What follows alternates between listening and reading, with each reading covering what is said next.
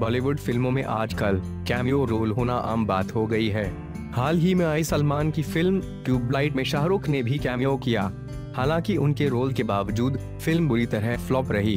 वैसे, आज के दौर में शायद ही कोई ऐसी फ़िल्म बनती होगी जिसमें कैमियो ना हो।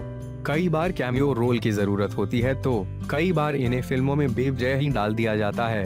इतना ही नहीं, बॉलीवुड में ही कुछ लोग दोस्ती और बेहतर रिलेशन के लिए भी कैमियो रोल या गेस्ट अपीयरेंस के लिए तैयार हो जाते हैं करण जौहर की फ़िल्म ए दिल है मुश्किल के ब्रेकअप सॉन्ग में आलिया भट्ट का कैमियो रोल है हालाँकि पूरी गाने में सिर्फ़ अनुष्का ही छाई रहती हैं। ऐसे में आलिया डीजे रोल वाले में बेवजह ही नज़र आती हैं।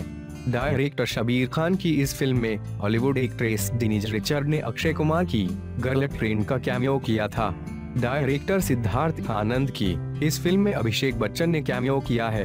डायरेक्टर गुड्डू दानोवा की फ़िल्म में मलाइका अरोड़ा ने कैमियो किया है। डायरेक्टर कबीर खान की फ़िल्म ट्यूबलाइट में शाहरुख खान कैमियो में दिखे हैं।